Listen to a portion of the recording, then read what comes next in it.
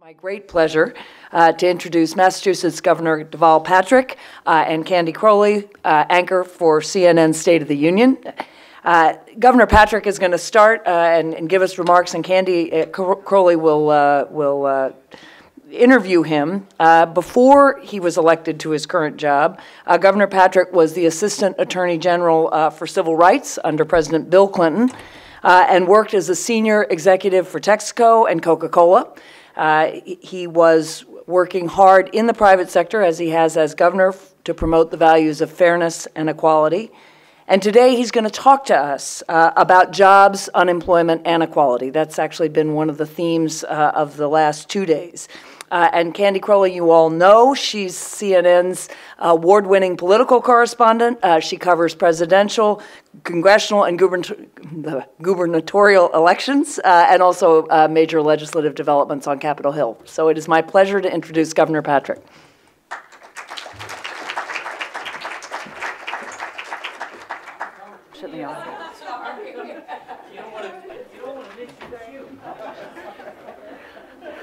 Thank you very much. Thank you for inviting me to join you this afternoon. I know that um, you've had a very full agenda these couple of days, so I'll keep my opening remarks uh, as brief as possible so we can spend more of our time together in conversation. Um, with thanks again to uh, Anne Marie, perhaps a little more introduction is in order at the outset. Uh, I am called a liberal Democrat from a reliably blue state, so called, uh, in which, by the way, there are more unenrolled independents than there are registered Republicans and registered Democrats combined. I am a capitalist who believes we need to grow the economy not just to create wealth, but also and mainly to create opportunity. And I have spent most of my professional life in and around private companies, including, as you heard, as a senior executive in two Fortune 50 companies.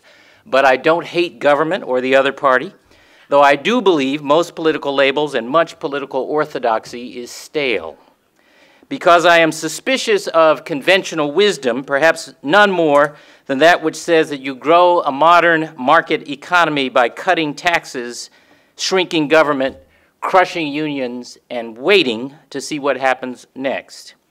A version of that, in a nutshell, was the approach taken in Massachusetts under 16 years of Republican governors. When I took office in 2006, Massachusetts was 47th in the nation in job creation. Real wages were declining in our state while rising across the nation. In a state where education is our calling card, our students had just experienced one of the largest per pupil spending cuts anywhere in America.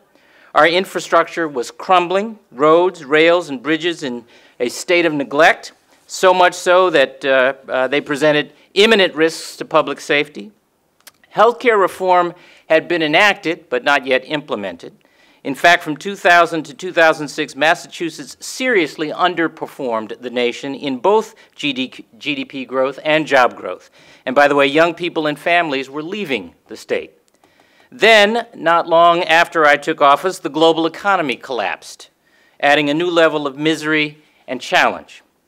Today, I'm happy to report nearly eight years later, Massachusetts out outperforms the country on both GDP and job growth. For the last seven years, our economy grew at about twice the national rate. Last year alone, we added the most jobs in a single year than in any year since the tech boom in 2000, the fourth straight year of strong job gains. Young people and families are moving back into Massachusetts again as well. We are first in the nation in student achievement, at or near the top in the world in math and science. We are also first in healthcare coverage, with over 98% of our residents insured today, in economic competitiveness, in entrepreneurial activity, in venture funding per capita, in energy efficiency, and much more. And we've done it responsibly, balancing our budgets, replenishing our rainy day fund, to one of the strongest in the country, and achieving the highest bond rating in Massachusetts history. We have our challenges and our setbacks, of course. The recovery has by no means reached everyone. But by many, many measures, Massachusetts is a more prosperous, more open, and more just state today for many people than it was in 2006. So, uh, how did we get Massachusetts back in the leadership business?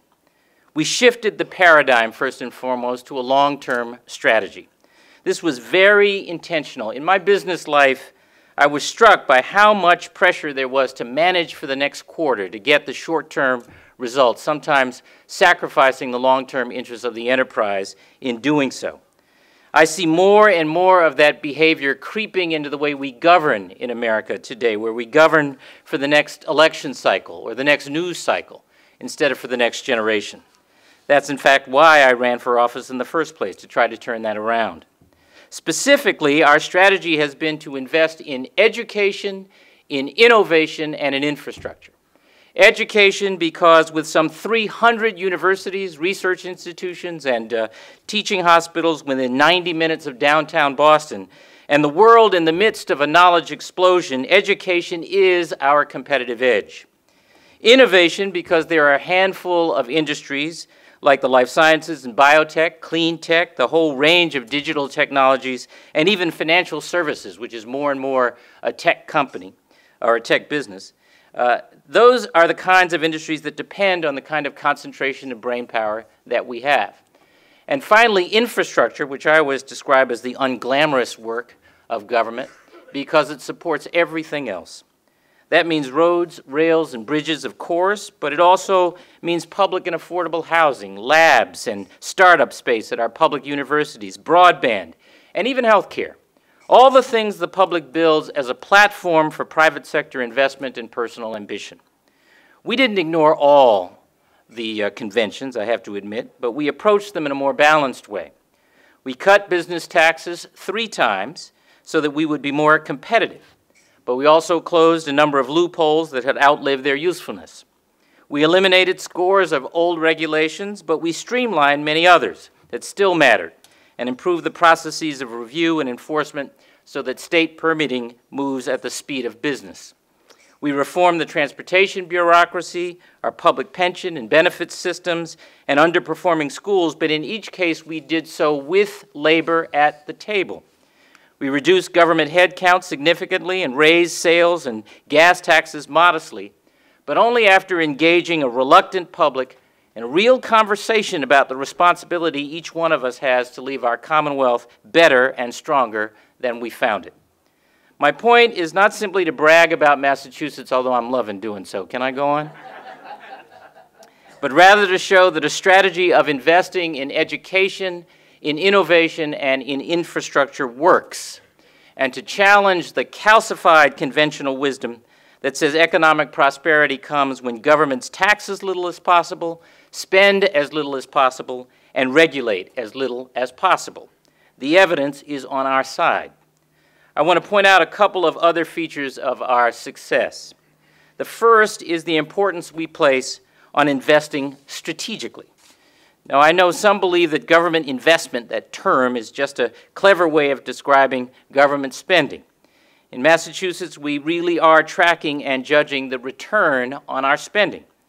For example, we launched a 10-year, $1 billion initiative to strengthen our life sciences and biotech sector, a natural outgrowth of that concentration of university and medical brain power that I mentioned earlier. Uh, we are now um, uh, uh, halfway through that effort. We've invested about $500 million of public money in grants, tax credits, and capital improvements, which has leveraged more than $1.5 billion in private investment and created thousands of jobs. Similarly, we joined the Regional Greenhouse Gas Initiative, used the proceeds of the carbon emissions auctions to subsidize energy efficiency measures, and surged to the top rank nationally in energy efficiency. By the by, annual average job growth in our clean tech sector is over 24 percent. I want to add that the benefits of emphasizing innovation don't only accrue to PhDs. 60% of the new jobs in the life sciences are for people with less than a four-year bachelor's degree. Manufacturing, which in our state is now largely so-called precision or advanced manufacturing, is growing 50% faster than the national growth rate and seven times the rate it did in the previous administration. A second noteworthy feature of our approach is the importance we place on collaboration. We recognize that no state government can presume to substitute for the private capital markets. But more than philosophy, the practical reality for us has been that our public investment has been most successful where the programs have been designed in collaboration with business and academia, and where individual investment decisions have been made with input from scientific and technical experts as well as experienced business leaders. Indeed, in one signature project in western Massachusetts, a, a green high-performance computing center, our partners include five universities, both public and private, and four high-tech companies. The first time many of these institutions have worked with each other, let alone partnered with state government. The point is that we try to target our public investment, uh, in infrastructure investments, where they will catalyze private investment and the job growth that follows from it, and where private sector experts actively collaborate in that. Third, we have had, within reason, to raise our risk tolerance. We gave generous tax credits to one solar company, and it did not work out. Meanwhile, the solar industry, indeed the whole clean tech sector, as I've described, has grown exponentially under the same programs.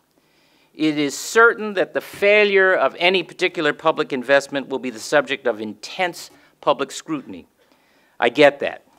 And yet we will not be able to make any meaningful investments in education, innovation, or infrastructure if each and every investment must carry a guarantee of successful short-term return. Just as a private investment advisor, advisor should not be judged a failure if one stock in the portfolio loses value, so too public investment should be judged on the entirety of the results and not merely on the outcome of any one project. Some fear that government investing will only serve to crowd out private funding of projects and will thus have no net positive effect. With the exception of most, though not all, transportation spending, our investments of state dollars are frequently and purposefully only 5 or 10 percent of the total capital invested. At those levels and with a determination to seek out opportunities to co-invest with private parties, we have seen no evidence of such crowding out. To the contrary, as I've said, we can show that our disciplined investment strategy has drawn, drawn additional private capital into the Massachusetts economy from around the country and around the world. Our experience over the last seven and a half years suggests an import, important role for government in fostering a robust 21st century innovation economy. By any measures, Massachusetts already reflects such an economy. And in that new economic reality, Massachusetts so shows the powerful impact that government can have by making strategic, long-term public investments in education, innovation, and infrastructure. And yet, in another sense, our approach is not at all new. In the 1950s and 60s, before conventional economic wisdom became conventional, Significant public investment in education, innovation, and infrastructure was a driving force behind America's economic success. Whether it was President Truman's support for the GI Bill, President Kennedy's call for a man on the moon, or President Eisenhower's vision for a national highway system, public investment in education, innovation, and infrastructure was once a good idea, whose time, I believe, has come again. Now, I admitted at the outset that I am a capitalist who believes we must have economic growth. But though I have been blessed to have uh, made a little money myself along the way, I do think creating opportunity is the more profound reason why economic growth matters, especially in America. And I will close with a brief reflection on that. America is the only nation in human history not organized the way countries are normally organized. We're not organized around a common religion or language or even culture. Geography doesn't explain America.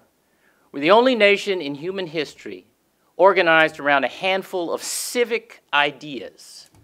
And we've defined those ideas over time and through struggle as equality, freedom, fair play, and opportunity. That, I maintain, when all is done, is the reason we remain the envy of the world. Indeed, uh, as Israel's President Shimon Peres says, we are the only superpower whose power comes not from taking, but from giving. At a time when the chasm between the haves and the have-nots is, in America is growing, and the impact uh, of not just inequality but immobility is a reality confronting millions, we have to do what works to make opportunity real. I think that will include disenthralling ourselves of some of our political conventions. You brought a, the infamous blue cards. that's a blue cards, right? You never know what's on these things. Well, first of all, thank you for taking the time to do me. this. So let's talk, let's, Massachusetts sounds like a lovely place to live. So let's, let's talk about applying what you just talked about to the country as a whole. So let me get a situationer from you, as we call it.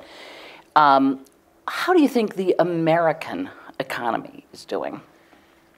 Well, so first of all, yes, Massachusetts is a great place to live, and uh, we have we have a lot of things going for us. January and February are not two of them, um, but uh, I do think that the uh, I think the economy is recovering. Um, it's not recovering as strongly or as fast as I think anybody would like, and you have to worry about the numbers of people in the country who are not, uh, for very understandable reasons, feeling that sense of mobility, that sense of, uh, not just that circumstances are hopeful, but that their own, is it not working? Like that? Is this better? Okay. But that their, own- should I repeat everything I just said? Okay. Really? We don't have time. Um, I, I think we do have to worry about, and more and more people are worrying about, uh, including public leaders, uh, the fact that millions and millions of people in America are not feeling hopeful, not just about the general circumstances, but their own ability to move forward. And I do think some of that is psychological, because I think there is a psychological element in economies generally, but some of that is about um, the real issues around immobility. Uh, and I do think that there are things we can do about that. And by immobility, you mean the inability to move from this job, which has gone away, to a different job. Well, not just that. I mean, I grew up on the south side of Chicago on welfare. I'm not supposed to be sitting here, given um, uh, how much is happening today. That see, is this as spotty for you as it is? This this is better. Okay. Um, uh, who are uh, um, who are having uh, a, a, a practically difficult time imagining how they move from the circumstances they're in, not just the job, but the whole life circumstances they're in, to another place. And that has a whole lot to do, I believe, uh, or can be improved by access not just to um, uh, uh, more schooling, but, uh, but, a, but a better quality of education and the things we do to expand the economy out to the marginalized, not just up to the well connected. And on a, a it, it's one thing to do something about that for Massachusetts. It's another thing to look at the United States, put yourself in the president's seat, which I, I know you don't do ever.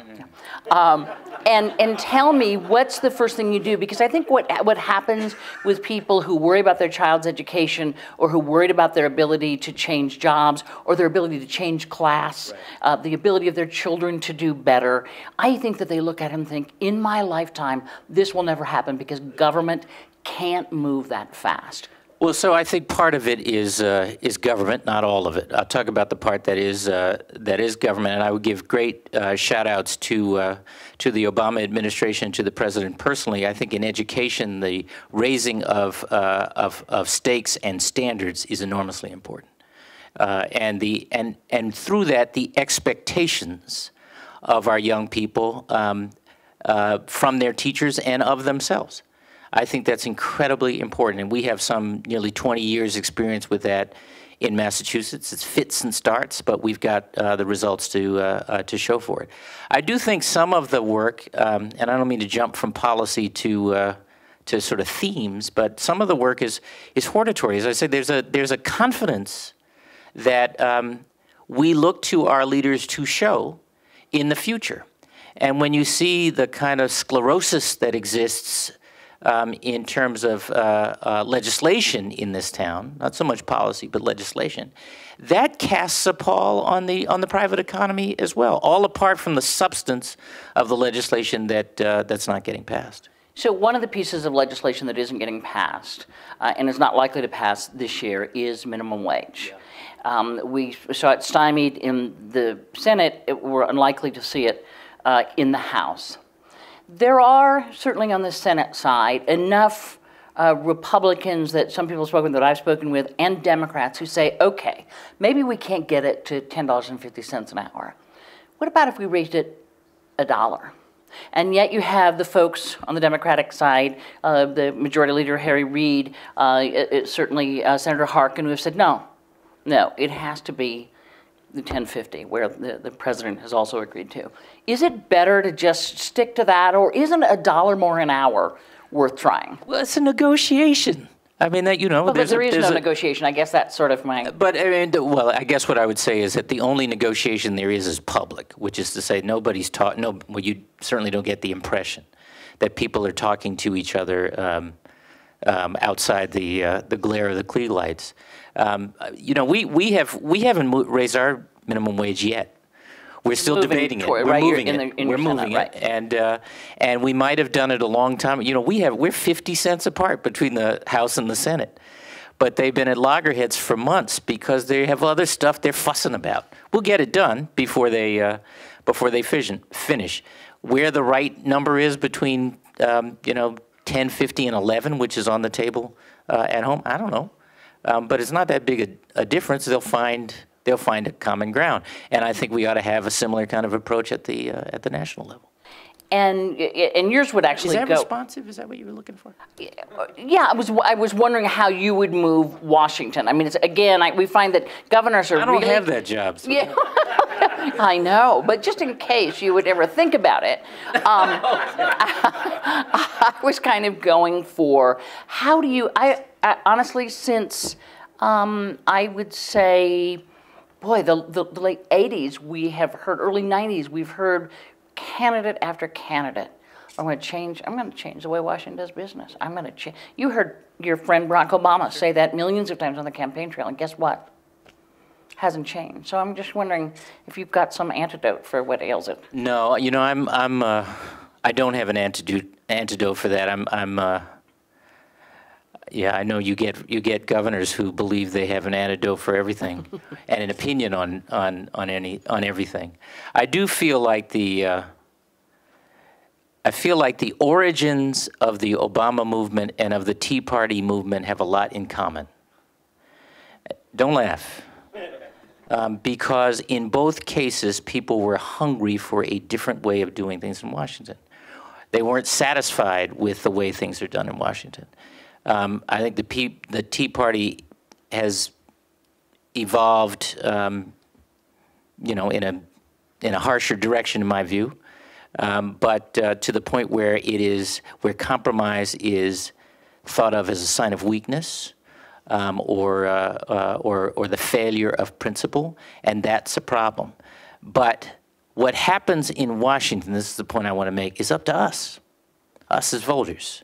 It's not up to our representatives. We get the government we deserve. And if people keep sitting it out and leaving it to the pundits and the experts and the money people, instead of working it at the grassroots, which, by the way, is how the president won in the first place, then we will continue to get what we have. Let me ask you about, what- and, and you touched on it in your remarks. We, we, I think we found out in April that the American middle class is used to be the wealthiest middle class compared to um, their, their colleagues or their peers in other nations. Now we see that Canada has probably overtaken us, and, and that many other countries, their middle class is growing uh, as ours seems to be shrinking. Why is that?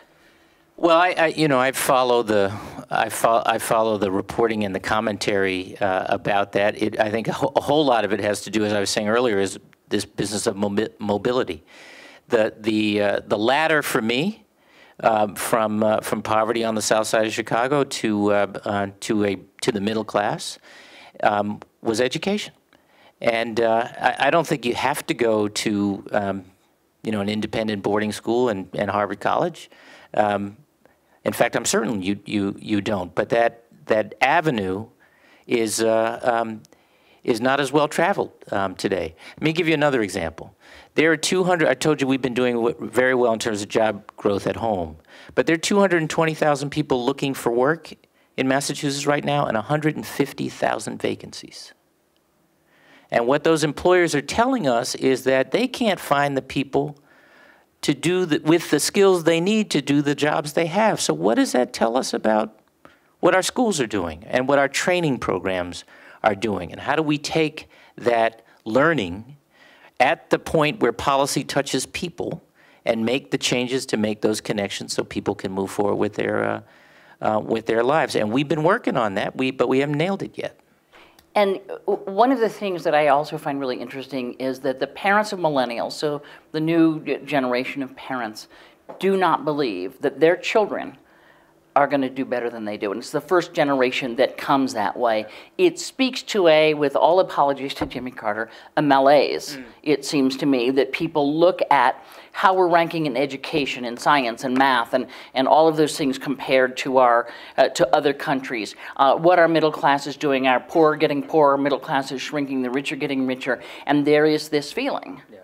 That America, and I know no politician ever says this, oh, but there is a oh, feeling out there that America has seen better days. You know what? We we have uh, the National Governors Association, as you know, gets together a couple times a year. One one time here in Washington, and I was at a an NGA meeting, uh, Candy, a few years ago when someone, one of the presenters, asked that question of all the governors sitting around the room, and everybody was there. And he said, How many of you are better off than your parents were? And lots of hands went up. In fact, I think everybody's hand went up.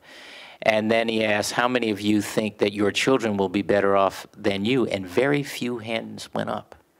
So it's not that politicians won't say it, or maybe they'll just say it silently they try by not raising to campaign on it. No, of course not. Yeah. Of course not. But you know, I, I feel like the like our our greatest lurches forward in history in this country has, have been when when uh, we have set goals for ourselves as a nation. And one of the great tensions I see right now, and I see it coming mainly from the Tea Party, is that it, they raise real questions about whether we, we want a nation rather than an, a loose association of states. And there's a difference.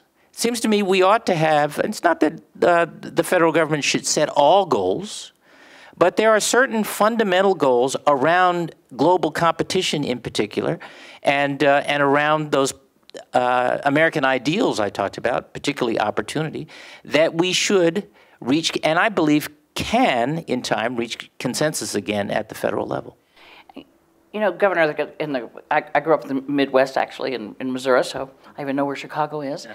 And um, I, I find um, that I hear some urgency um, it, when you talk to what we like to call the normal people, um, in their voices when they talk about their children or when they talk about their jobs, and a real feeling that government is always talking about let's set goals, yeah, let's by 2030 make sure that our kids all score well in this, that. It's too late for their kids in 2030. It's too late for their job in 2030. And so there seems to be nothing kind of, nothing simple, and I understand that, but just on the, on the right road. If you ask how many people, people how and what they whether they think the country's going in the right direction over well i think it's in the 60 percentiles it's the wrong direction. Mm. and honestly we're kind of in a recovery. Mm. so I, I just wonder about those people who right now look at their lives and think it's blowing up here. So so i, I see that and we get that uh, we get that at home. In fact you, you, you heard me talk about and i often do um,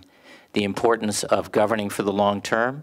And I, I, I want you to know i'm very clear that that is not the sensibility of the people I serve uh, at home necessarily. It's not the first place they go because it's not how we think about policy making or problem solving for that matter in this in this country. So many of the goals we set were not about things that we were going to accomplish in uh, my first or second uh, terms. But once we got on that path, things started to happen. A lot of these results I, I talked about were not results we expected to be able to brag about before I left office, but we still, but they begin to accrue and the pace picks up because we're very focused on a few things that we know will make a difference. One of the things we also read, and not to be Debbie Downer, but is that um, it's very unlike you. Candy. I know, is that um, China, by the end of the year, is likely to become the world's largest economy. Should that worry us? Well, I'm competitive, so it, it worries me. Um, but I, I think uh, it doesn't have to be so. I mean, China is a. have uh, been to um, China a number of times. I did business in China when I was at Coca-Cola, of course, and I've I've been there um, two times on on uh, missions as as uh, as governor, and they have a lot um, of uh, I was going to say advantages, a lot of differences. Thought you were going to say a Um, lot of people. They got a lot of people, that's for sure. I remember, have you, you've been, you, have you ever ridden that maglev that goes, the train that goes from the airport to downtown uh, Shanghai? astonishing. It's incredible, and, and it's there in, you know, a few minutes. I think that's the distance of, uh, um, of 12 or 15 miles. Now, they made, they put that up really quickly. It's a straight line, and they told everybody who was in the way to get out of the way. They didn't ask, they told everybody to get out of the way. There are some trade offs I think we make in a democracy that I think are trade offs we ought to make because we're uh, a democracy, and I celebrate. But at the same time, I will say that the uh, while we had when I was there the first time as governor, we visited a number of life sciences companies that were doing their manufacturing. Massachusetts life sciences companies that were doing their manufacturing in uh, in China. Um, since that first visit, and that was in 2007, many of those companies are bringing their manufacturing home to Massachusetts. And we've been thinking about and working on how to make that environment work for them, and that's one of the reasons why they're coming home. Would the environment work better for the U.S. and bring more U.S. companies home if there were no corporate tax rate? I don't know about no, but we certainly have to have a, uh, um, uh, we have to, we have to fix a corporate tax system that encourages, let me put it differently, makes it harder to repatriate um, overseas earnings. And I, you know, by the way, there's a consensus, I think, among uh, business people across the political spectrum on, on that, I think. You're looking out here because maybe there's somebody who's going to disagree with me. I actually was looking at the clock. Okay, I'm sorry. But no, no, we, we have time. I'm watch. sorry. No, no, I would not. I was just, you know, getting my bearings. That's all. I, I, I, look, when I was, when I was um, uh, working in companies or serving on, on, on company boards, I can't think of a single decision we made based on the, on the tax rate. Not a single investment decision we made based on the tax rate. The tax rate or Well, is it possible that there are decisions not being discussed? Well- That there are things not being discussed because of the tax rate? Not Because in the- we know that comparatively speaking, the corporate tax rate here is really high. Well, let me, uh, let me, let me just, the, where I was going with that is, um, um, first of all, I, they, they better not have been having those discussions without me in the room in those, in those roles, uh, the ones I was referring to. But um, what I meant, where I was going was uh, the tax rate or the tax, um, or the, or a tax benefit was a closer right? It's a, it's not where you started the conversation, but it might have been how you resolved the conversation at, uh, at the end. And a combination of um, tax simplification and rate change and a harmonization with uh, the economies um, where we compete and want to compete is very, very good, in my view, in a, uh, uh, in a globally competitive uh, market, marketplace, if we really mean to have a globally competitive marketplace. And by the way, I think revenue um, is not going to be jeopardized if we get that, if we get that right.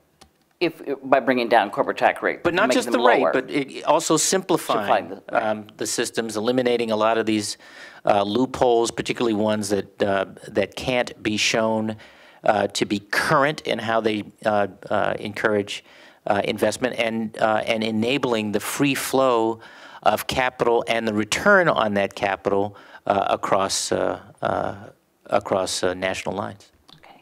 When I want to talk to you a little bit about healthcare. I think probably everybody here knows that it was compared to the President's Afford- Affordable Care Act, who Mitt Romney was uh, in Massachusetts as governor um, when it went into effect. Tell me now, looking at the Massachusetts uh, healthcare system, is there anything you'd change about it? Is it working perfectly, or are there things you need to change? Uh, let's see, we are 98, I think today, 98.5% insured, 99.5% of children. I don't think there's another state in America that can touch that. 90% of our residents um, report that they uh, have access to a primary care physician and have seen their physician in the last six months. We're healthier on a whole host of levels, um, uh, measures. We are, um, uh, it's added 1% of state spending to the budget, so it hasn't been a, a budget buster. Uh, and by the way, it's popular. Healthcare reform in Massachusetts um, polls in the sort of 70% approval range. The ACA in Massachusetts polls 50 50. They're the same thing, right? They're the same thing. I mean, I do think we, we have been selling it harder and longer and more deliberately. They've been in place longer as well. Well, so- but those some of those numbers go back go back a while. Now our our website has given us heartburn. Right. Um, I wish that weren't so, especially after having engaged. It turns out the same vendor who built the federal website um, to build uh, uh, to build ours, and that's enormously um, uh, frustrating. But uh, you know, can, can I just say I know I'm going on, but um, that we had an advantage, have an advantage at home that the president hasn't had at the uh, at the national level. In our case, we had a very broad coalition of business, labor, uh, medical professionals, advocates, and so on, policymakers who came together to invent healthcare reform, and then they stuck together to revise it as we went along because we were learning as we went. And there have been four or five major pieces of legislation um, to uh, uh, to refine it, and the president doesn't have that kind of uh, um, that kind of set of circumstances. What's wrong with Obamacare?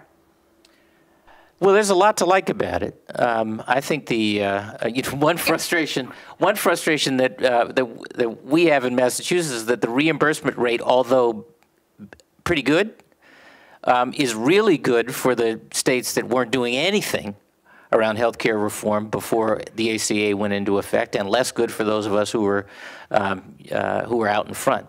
Um, and that you know, I'll get over that, but I wish it weren't. Uh, I wish it weren't. Uh, I wish it weren't so. It's um, it's complicated, maybe more than necessary. Um, in terms of the numbers of different kinds of subsidies, uh, the different sources of, uh, of, uh, of subsidies. You know, there are a lot of folks that had to that had a piece of that drafting. So I I, I get that. I it, it, there'd be ways to make it uh, uh, simpler, and we will learn about those and others as we go along. But as I say, if you don't have a coalition that's willing to come back to Congress and say now it's time to, to fix this without the debate being whether to repeal it entirely, that's a very difficult um, conversation to uh, to have. So if you had to wave a magic wand in terms of how it affects Massachusetts, which is probably minimal compared uh, to other states, since you're already highly insured there, um, what do you think is the most problematic, either in, quote, bending the cost curve, or in getting everybody covered, or what's, So one one big difference between um, uh, the health reform that Governor Romney signed, um, we don't call it Romney Care anymore because it went into effect the day I took office. So we, I think we should start calling it Patrick Care, oh, as long as it's working as well as it is. Uh, seriously, I, I, I the one one um, uh, one thing that that one big difference is that uh, the the bill go, the governor signed was just about access. They put the question of cost off to another day. We did cost as one of those follow-on um, uh, pieces of legislation. Um, there's much more around cost containment in the ACA, and that's a good thing. So that's helped us. That, together with our own um, legislation, has meant that what were double-digit annual base premium increases are down to less than three percent year over year um, for the last couple of uh, years. That's been that's been really great. Um, what would I, you know, I would back to simplicity. Um, you know, we do, we we have not done our subsidies by uh, tax rebates, which is the a centerpiece of the uh, of the ACA, and it means that people have to come out of pocket before they get it back, or you know, that's. I like it our way. Um, and, and a final question as our minutes run out here. Tomorrow, 10th anniversary of uh, the top court in Massachusetts um, uh, saying that uh, it was unconstitutional to ban same-sex marriage. So you were the first state uh, to allow uh, legal same-sex marriage. So in those 10 years, can you look at it and say, this benefit has come to Massachusetts because of this, or this negative has happened as a, a result of that? So, you know, the, the sky hasn't fallen, the, the ground didn't open and swallow us all up. The, uh, somebody somewhere has done a study about the numbers of uh, same sex weddings that happened in Massachusetts while we had a you know, we, we cornered the market on that. I don't know what that number is. I don't really care. The, the, the main point is that we affirmed an ancient principle, which is that people come before their government as equals. And that makes us proud. There have been a lot of people that have referred to this movement for um, lesbians and gays as the this era's civil rights movement. Do you see it that way? I think it is. I know the sensitivity among uh, some civil rights uh, leaders that you can't, you know, sort of equate that with the struggle of uh, of African Americans to um, break free of Jim Crow, and uh, and I, I I get that point. I get that point too. But the you know, there's a civil rights is a relay race for justice, as one friend of mine describes it. You you do everything you can in your time, and then you hand the baton to uh, uh, to to others. And um, it's not that I'm declaring we have won uh, the civil rights questions around race by any means, um, but um, there is a common American interest in the expansion of justice. It is. It goes back to who we are.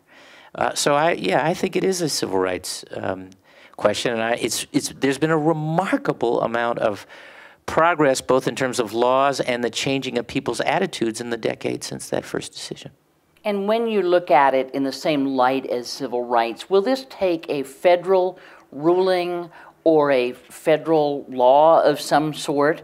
Or do you think this will be a kind of a state by state? Because as you know, there are, I think, something like 30 states that have specifically ban same-sex marriage. How do you see this? I, I, I don't I don't know the answer to that. It- you know, the the uh, the court's DOMA decision was pretty pretty uh, huge, um, and I do think um, you know all the the national polling indicates um, attitudes are are changing, and I, I you know I, I think people will you know I guess I would say justice I believe uh, tends to win in the end.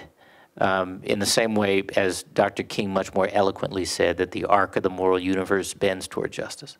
I do think it takes people to bend that uh, to bend that arc, and I think that as people realize, even those who um, maybe especially those who don't approve or are uncomfortable with same-sex ma- marriage, that they don't have to go to a same-sex wedding, even though one may be happening somewhere in their village or town or uh, or state that um, some of the same kind of progress that we have made around race will happen around the LGBTQ community.